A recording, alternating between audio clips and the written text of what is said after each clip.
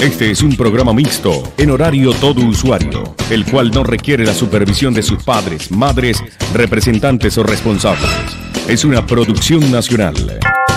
Todas las obras del Señor bendigan al Señor, cántenle y glorifíquenlo eternamente.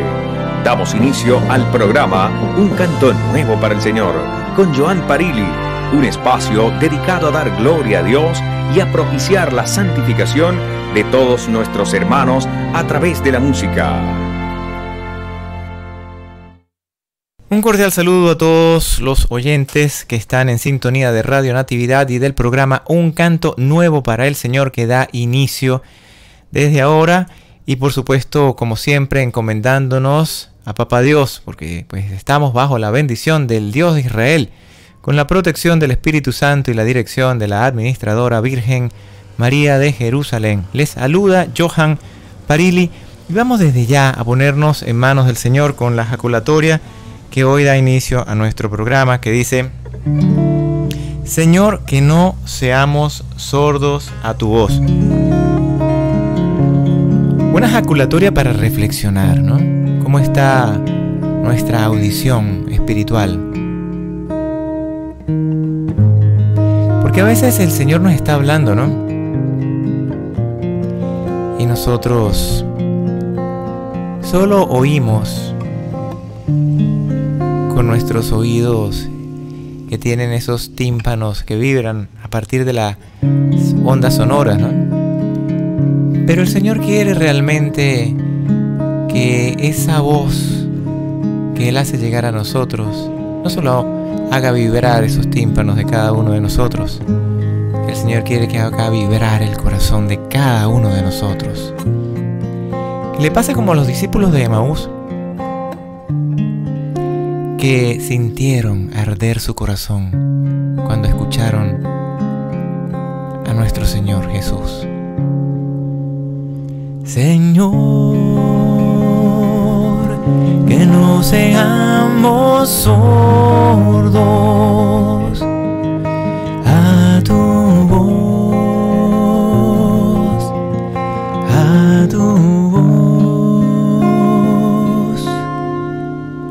Señor, que no seamos sordos a tu voz, a tu voz.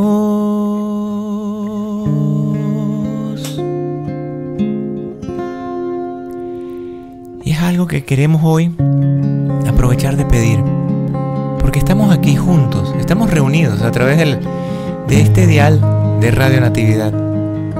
Y cada uno de nosotros sabe muy bien cuántas veces hemos escuchado al Señor y cuántas veces nos hemos hecho de oídos sordos. Hoy es un buen momento también para pedir por todos los amigos, familiares, por el mundo entero, que necesita tanto escuchar la palabra del Señor y que, esa palabra resuene en cada una de las almas, de los corazones. Hoy podemos juntos elevar esa oración al Señor para que nosotros, creación suya, dispongamos de nuestras vidas para que Él habite en nuestros corazones y dirija nuestros destinos. Hoy es un día para decirle muchas veces, Señor, que no seamos sordos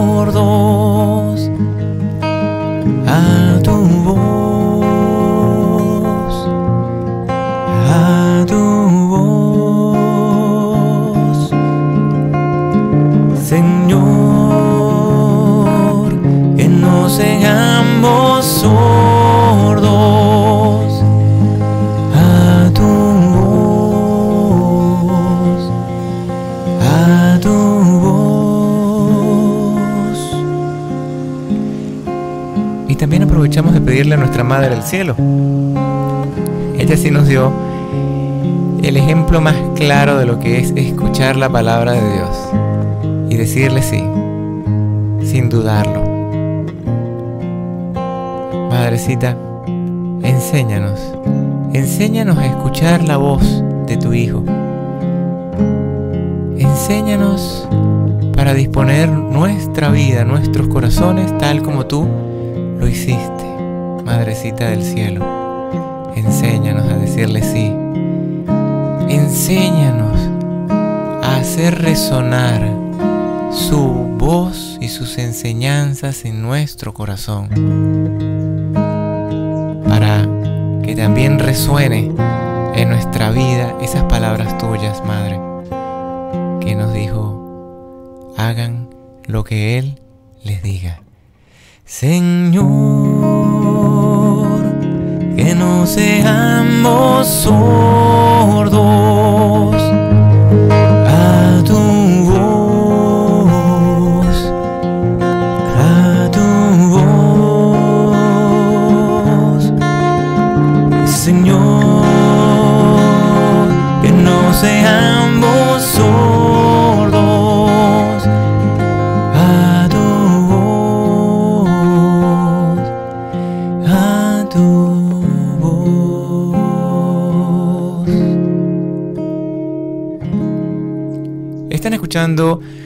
canto nuevo para el Señor a través de Radio Natividad. Vamos con música de la estación y retornamos para nuestro segundo segmento del programa. Si cantas solo con la voz, por fuerzas tendrás al fin que callar. Canta con la vida para no callar jamás. San Agustín. Están escuchando un canto nuevo para el Señor a través de Radio Natividad 0412-667-9976. Vamos en nuestra sección Cantemos con la Vida a mm, seguir abordando todo este tema al cual hemos eh, en diversos programas abordado y es el asunto importantísimo, trascendental en la vida de todo cristiano, de todo de todos los que deseamos hacer la voluntad de Dios. Y se trata nada más y nada menos, ya lo saben muchos de los oyentes del programa, que este punto de las obras de misericordia. A estas alturas, los que nos vienen mm, siguiendo desde que comenzó el programa pueden preguntarse, bueno, pero ¿qué más le podemos sacar a este punto de las obras de misericordia? Ya eh, desde que comenzó el programa y vamos en la edición veintitanto, este, pues seguimos abordándolas. ¿Hay algo nuevo todavía que podamos extraer de allí? Y la respuesta es sí. Vamos hoy, de hecho, a hacer un enfoque basados en la palabra de Dios, estrictamente tomando el libro del Apocalipsis, al cual eh, algunos doctrinarios pues lo refieren como eh, el quinto evangelio. No olvidemos que este libro del Apocalipsis lo escribe Juan, eh, el apóstol Juan, San Juan, y eh, él lo escribe, por supuesto, por orden de mismo Jesús. Así él lo manifiesta en los motivos del escrito. Esto lo van a encontrar ustedes en el capítulo 1 del versículo 9 en adelante. Él ahí da los detalles, dónde estaba, dice que estaba en la isla de Patmos, eh, que fue un domingo cuando cayó en éxtasis. Y por supuesto Jesús eh, se le presenta y le dice, escribe, escribe, ¿sí? El libro escribe lo que ves y envíaselo a las siete iglesias. Recuerden que el número siete representa plenitud, ¿ok? Y las iglesias, pues, es la iglesia, el cuerpo místico de Cristo, del cual todos nosotros formamos parte. Entonces, hay algo interesante que quiero compartir con todos y es el enfoque de la carta a la iglesia de Éfeso y por supuesto las obras de misericordia. Porque Hubo algo leyendo el libro del Apocalipsis un tiempo atrás que a mí me llamó mucho la atención eh, y creo que a ustedes les va a pasar lo mismo. Y fue el reproche, lo que se le condena a esta iglesia de Éfeso. Voy a leer porque es pequeño el texto de, de esta carta a Éfeso que dice así. Esto está en el capítulo 2 del libro del Apocalipsis. Dice, al ángel de la iglesia de Éfeso escríbele. Recordemos, esto se lo está diciendo Jesús a Juan. ¿Ok? Le está diciendo, escribe esto. Dos puntos, abro comillas. Esto dice el que tiene las siete estrellas en la mano derecha, el que anda por en medio de los siete candelabros de oro. conozco tus obras, tu fatiga y tu paciencia, que no puedes soportar a los malvados y que has puesto a prueba a los que se dicen apóstoles y no lo son, y los encontraste mentirosos, que tienes paciencia y has sufrido por mi nombre sin desfallecer. Pero tengo contra ti que has perdido la caridad que tenías al principio. Recuerda, por tanto, de dónde has caído. Arrepiéntete y practica las obras de antes. De lo contrario, iré a donde estás tú y desplazaré tu candelabro de su sitio, a no ser que te conviertas. Sin embargo, tienes esto en tu favor. Aborreces las obras de los nicolaitas, que yo también aborrezco. El que tenga oídos, oiga lo que el Espíritu dice a las iglesias. Al que venza, le daré a comer del árbol de la vida que está en el paraíso de Dios. Así termina esta carta a la iglesia de Éfeso. La iglesia de Éfeso era eh, una de las iglesias más grandes ¿no? en Asia. Y es importante destacar acá que, bueno, más, ustedes a lo que acaban de leer, yo les invito a que busquen esto en su Biblia, ¿no? Y lo lean, lo mediten, cada quien lo vaya reflexionando, porque la intención es que nosotros nos veamos reflejados como iglesia, ¿sí? Nosotros formamos parte de la iglesia, en esta llamada de atención a Éfeso. Pero alguno podría decir, no, pero ya va, es que no les hizo una llamada de atención. Fíjense, aquí le está reconociendo una cantidad de, de frutos ¿sí? que está dando. ¿Frutos de qué? La, bueno, obras de, de, de, fatiga y paciencia. Cómo soporta a los malvados.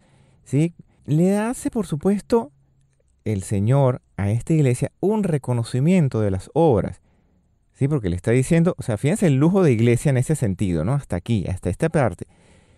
Que el Señor se aparezca ante nosotros y nos diga, yo, Jesús, conozco tus obras. Personalícelo cada quien. Vaya, por favor, le hago la invitación a hacer este ejercicio para tener este encuentro con el Señor también. Hágalo oración. Que el Señor le pueda a usted decir, ¿sí? Y usted va viendo a ver si encajamos o no encajamos en esta iglesia y en estos elementos que el Señor nos está aquí de alguna manera em, participando, nos está comunicando en esta carta a la iglesia de Éfeso.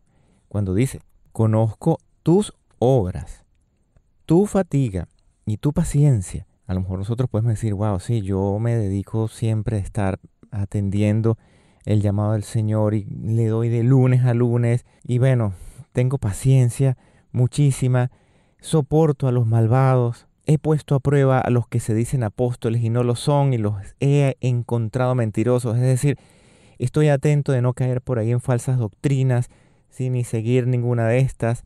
Este he sufrido todo, ¿sí? Sin desfallecer por él, por mi Señor, por Jesús. Qué bonito, ¿no? Que el Señor y que de pronto ahorita cada uno de nosotros esté diciendo, pues sí, todo eso lo estoy viviendo, ¿no? Cada quien tiene que hacer su examen de conciencia. Esto es sencillamente una especie de radiografía a la luz de la palabra de Dios. Pero miren qué cosas, ¿no? Qué increíble. Porque una persona que se considere que ha cumplido con todo esto, de pronto puede llegar a pensar que ante los ojos de Dios ya es, es el ideal a seguir. O sea, esto que estoy haciendo lo debo seguir haciendo porque pues esto está muy bien. Y así lo dice la palabra de Dios. Pero, aquí viene el pero. Esto lo dice en el capítulo 2, versículo 4. Leo nuevamente palabra de Dios. Pero tengo contra ti que has perdido la caridad que tenías al principio. Algunas traducciones dicen, has perdido el primer amor o el amor primero. Lo dicen algunas traducciones en este versículo 4. En cualquiera puede llegar a pensar, wow, pero he sufrido con paciencia sin desfallecer. Este, no he caído en esas mentiras de los que se llaman apóstoles y estas personas que ideologías y corrientes religiosas falsas. Me he fatigado por el trabajo para Papá Dios. Yo, es más, estoy de, de lunes a lunes, ya lo decíamos, ¿no? Trabajando siempre por el Señor y ayudando en la iglesia en todo. Y bueno, y doy clases de catecismo y yo canto en la iglesia, pero Versículo 4. tengo contra ti que has perdido la caridad que tenías al principio. Vamos a dejar esto acá para la reflexión y en el siguiente segmento, afinándonos en el tono perfecto de Dios, seguimos tratando esta carta que es importante, veamos nosotros también como guía para nuestra vida, para chequear si realmente estamos haciendo lo que el Señor quiere de cada uno. Están escuchando un canto nuevo para el Señor. El número de contacto, el 0412-667-9976. Una iglesia sin música es como un cuerpo sin alma. San Juan Bosco. Están en sintonía de Radio Natividad y de su programa Un Canto Nuevo para el Señor. El número de contacto 0412-667-9976. Seguimos en el programa ahora en nuestra sección para afinarnos en el tono perfecto de Dios, tratando este tema de la carta a la iglesia de Éfeso, eh, porque es necesario que demos testimonio de vida, por eso debemos cantar con la vida y debemos afinarnos en el tono perfecto de Dios, que no es otro tono que la caridad. Versículo 4 del capítulo 2 del Apocalipsis. ¿Qué reproche tiene el Señor contra esta iglesia de Éfeso? que perdió la caridad del principio. Pero esta es una iglesia ejemplar, si uno se pone incluso a ver sin tomar en cuenta el versículo 4, ¿no? Porque ya vimos en el segmento pasado todo lo que el Señor le reconoce a la iglesia. Es más, luego de hacerle el reproche, el pero tengo contra ti, todavía el Señor le expresa, ¿sí? Un elemento más que está a su favor, porque de hecho en el versículo 6 lo dice, sin embargo, tienes esto en tu favor, aborreces las obras de los nicolaitas que yo también aborrezco. Estos nicolaitas, de alguna manera, para hacerlo eh, fácil la idea de lo que queremos nosotros transmitir, estos nicolaitas eh, son aquellas personas que forman parte de la iglesia, que están eh, participando en la iglesia, pero también le coquetean a las cuestiones del mundo y a todas estas realidades, ¿sí? que hacen que uno de alguna u otra manera sea tibio en el actuar. Entonces, bueno, de pronto, recuerden que todo esto es para irlo nosotros mm, eh, analizando, reflexionando. Oye, en mi vida, ¿cómo estoy? Ya lo hicimos en el segmento anterior con respecto a los otros elementos, ¿no? Con respecto a, a que si me fatigo por las obras del Señor, si tengo paciencia, si encuentro la mentira en los falsos apóstoles y estas otras corrientes de pensamiento que, y religiones y demás que, que llegan a uno. Y por supuesto, también rechazo ese comportamiento de aquella persona que pues tiene como que esa doble vida, ¿no? Un rato está con un, un, grupo y el otro rato está con el otro grupo. Entonces no es como coherente en su actuar de vida conforme a la voluntad de Dios. Bueno, esto si uno se pone a ver es una iglesia ejemplar. El asunto está en que en el versículo 4 ya se nos cae a todos los que consideremos cada quien vaya evaluando esto, ¿no? Que pueden formar parte de estas características de esta iglesia. Bueno, suponiendo que uno a veces está creyendo de que, ay, yo sí soy bueno porque yo voy a misa, yo canto en la iglesia, yo hago aquí, yo hago allá. En fin, la cantidad de cosas que cada quien pueda hacer, pero si nos falta la caridad, no soy nada. No olvidemos, Primera de Corintios eh, capítulo 13, el amor es importantísimo. Ahora, también veamos lo siguiente. En el versículo 7 nos está diciendo em, cuál es la recompensa de aquel vencedor, de aquel que se le encuentre todos estos puntos totalmente favorables, totalmente aprobados. Bueno, lo leo. El que tenga oídos, dice, oiga lo que el Espíritu dice a las iglesias. Al que venza le daré a comer del árbol de la vida que está en el paraíso de Dios. No olvidemos que el árbol de la vida en el Génesis, en el libro del Génesis, era este otro árbol que se menciona.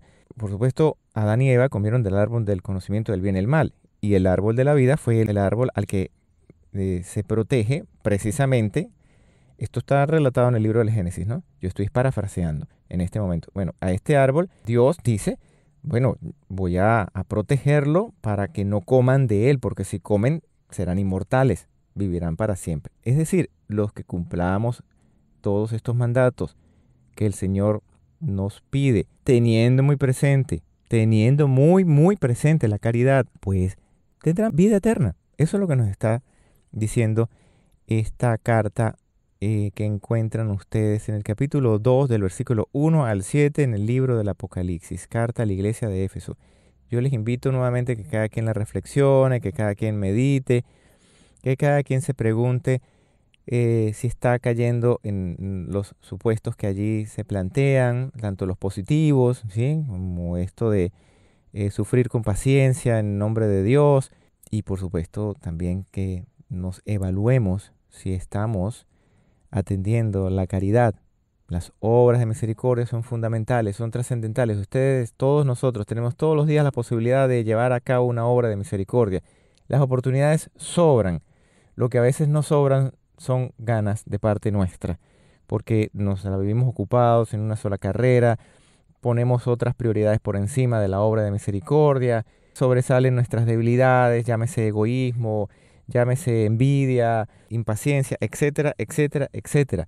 Entonces pidámosle a Dios, pidámosle al Espíritu Santo siempre, siempre, siempre su auxilio para poder cumplir con las obras de misericordia, que nos abra los ojos para poder darnos cuenta cuando estamos allí frente a un mm, momento donde el amor primero que todo, la caridad primero, ante todo, debe darse. Que desplacemos, por supuesto, nuestro propio interés. De eso se trata, morir a sí mismo. De, eso se trata.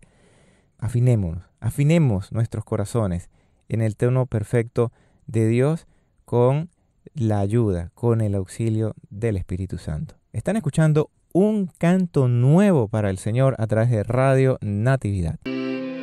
Una iglesia sin música es como un cuerpo sin alma. San Juan Bosco. www.fundamusica.org, Fundación de Músicos Católicos, quien produce este programa, Un Canto Nuevo para el Señor. Tenemos una segunda página web que, por cierto, es www.ministeriodemusica.net, donde van a encontrar ustedes diversos recursos para todo el músico católico. Eh, allí pues están a la orden estas eh, ediciones digitales y por supuesto esperamos que sean de utilidad. Pueden comunicarse también con nosotros ahorita al programa al 0412 667 9976. Esta es la sección dedicada a la música litúrgica. Recuerden mis hermanos eh, músicos que pueden compartir sus invitaciones a través del programa a formar parte de sus coros. Mm, entonces, lo único que tienen que hacer es enviarnos por aquí este número que acabo de dar, sus eh, invitaciones y nosotros con muchísimo gusto las vamos a compartir.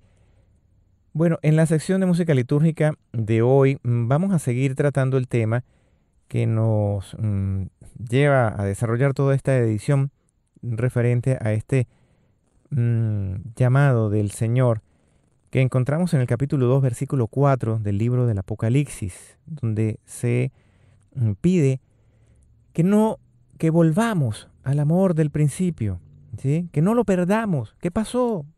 ¿En qué momento se perdió la caridad?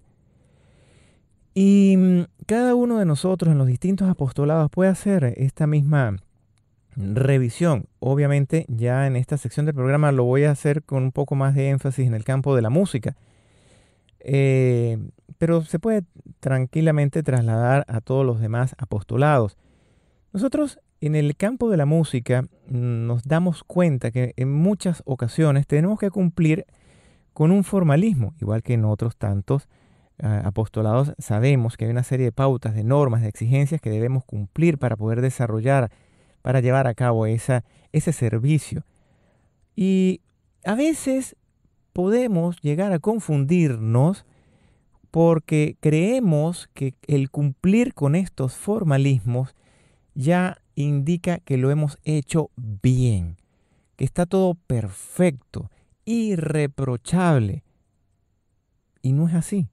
Y no es así. Si leemos el capítulo 2 que no se nos olvide, ¿no? Ese versículo 4 del capítulo 2 del Apocalipsis. El Señor a esa iglesia de Éfeso le reconoció una cantidad de cosas maravillosas, pero le reprochó la falta de caridad. Y ahí viene la gran pregunta para todos mis hermanos que hacen música para Papá Dios. Yo me meto también con ustedes en el lote, ¿no? Para hacerme la pregunta. ¿Estamos nosotros haciendo la obra de caridad ¿Estamos nosotros viviendo ese primer amor? ¿Estamos cantando nosotros ese primer amor? Miren, recordemos cómo fue ese encuentro con el Señor. Es muy seguro que los que nos están escuchando, muchos tengan incluso día y hora exacta de ese encuentro con el Señor. Si me lo preguntaran, yo se los puedo dar.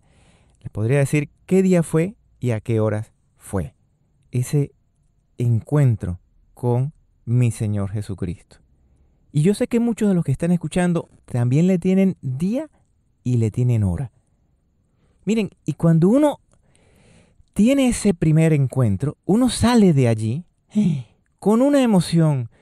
Bueno, uno no haya formas ni maneras humanamente posibles para agradar a Dios, para complacer a Dios, para hacer las cosas como Dios quiere. O sea, uno anda como flotando ¿no? en las nubes de aquella alegría, de aquel amor, de aquel gozo.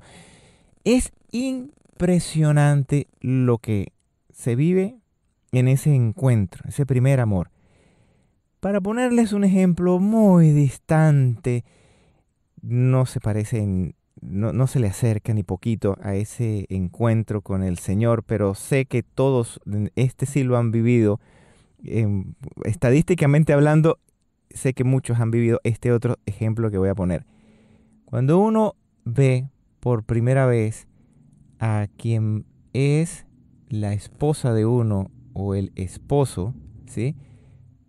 A uno se le alborotan, dicen las mariposas, ¿no? En la barriga, otros les da así como que ¡ah! la emoción, o sea, es una cosa tremenda y uno hace cualquier cosa por esa otra persona si hay que irse caminando 50 cuadras para ir a visitarla o visitarlo, se caminan las 50 cuadras, aun cuando de paso esté lloviendo y sean las 3 de la mañana. Eso sucede, eso sucede. Yo recuerdo una vez que mi esposa, en aquel entonces era mi novia, se despide de mí en su edificio, yo me vengo caminando para mi casa, me subo mi cuesta Hay una cuestica. Bueno, y de repente se va la electricidad. En aquel entonces que se fuera la electricidad no era cosa tan común. Y yo me quedo pensando, ¿y si se quedó encerrada en el ascensor, quién la va a sacar? Por supuesto que había más vecinos, había alarma de ascensor y había una cantidad de elementos que podrían haberse utilizado, ¿no? Pude haber pensado yo en ello, pero no, yo decidí devolverme, volver a transitar todo aquello, porque en ese entonces no tenía celular y no tenía cómo comunicarme fácilmente para saber ¿no? si estaba bien, si había llegado a la casa, qué sé yo, etcétera, y me he devuelto para ver si no se había quedado encerrada en el ascensor. Entonces, hay cosas que uno hace. Esa es una cosa mínima comparado seguro con lo que muchos de ustedes también, si nos pusiéramos aquí a compartirlo al micrófono abierto en el programa, nos contarían de anécdotas que deben ustedes haber hecho por sus amores, lo que hoy día pues son sus esposas, sus esposos. ¿Qué no hace uno cuando está en ese encuentro, ese primer encuentro por el Señor y sale uno de allí? Bueno, que uno no, no, no haya, no haya. Por eso le digo, es que, es que supera, supera todo, todo lo anterior lo supera. Es algo indescriptible. solo el que lo ha vivido, creo que en este momento está también sintonizado en esta idea que estoy planteando. Bueno, ese primer amor, ese primer momento, esa es la caridad que el Señor nos pide. No a medias, no así medio tibia la cosa que, bueno, hoy ayudo y mañana no. No, ¿qué estamos haciendo nosotros como músicos? Solamente estamos cumpliendo con el formalismo. Bueno, sí, yo voy canto en la iglesia y ya me desentiendo hasta el otro domingo, vuelvo y canto en la iglesia, me desentiendo hasta el otro domingo, vuelvo y canto en la iglesia. Como mero formalismo, como si fuéramos un radio. Como si fuera simplemente, pues, un toque más como tantos que como músicos vivimos. Sí, en el mundo de la música secular así lo llamamos. No, ahí tengo un toque mañana en tal sitio y otro toque pasó mañana en el otro sitio. Así lo estamos viviendo. No estamos profundizando el trasfondo que hay más allá al cual podemos llegar con la música. Lo dejamos allí para reflexión. Vamos con música aquí de la estación y volvemos en unos minutos. Si cantas solo con la voz, por fuerzas tendrás al fin que callar Canta con la vida para no callar jamás. San Agustín. 0412-667-9976 el número del programa al cual ustedes pueden llamar, mis hermanos músicos que quieran hacer invitaciones para poder formar coros, eh, reforzar coros, es decir, invitar a más hermanos a cantar a Papá Dios. Miren, siéntanse en la libertad de enviarme mensajes. Es más, yo debería pasar esta sección completa y la anterior, que es, la de música litúrgica, compartiendo las invitaciones. Yo no tengo ningún problema. Con todo el gusto del mundo lo haría porque de eso se trata. Eso también es parte de lo que estamos aquí planteando ¿no? en esta reflexión referente a hacer la caridad. ¿A cuántas personas, pregunto, y dejo la pregunta en el aire, o las preguntas en el aire, alguna actividad de caridad a través de la música y la quiere difundir a través de este humilde programa, están los micrófonos abiertos, no más que me tienen que enviar un mensaje para hacer eco de esa actividad. 0412 667 9976. Hermanos, llegamos al final del programa, agradecidos por su sintonía. Se despide Johan Parili y será hasta una nueva edición de su programa Un canto nuevo para el Señor a través de Radio Natividad. Llegamos al final y queremos invitarlos a escuchar la próxima edición de su programa Un canto nuevo para el Señor. Que Dios Todopoderoso pueda oír el canto y la música de sus corazones cada día. Hasta una próxima oportunidad.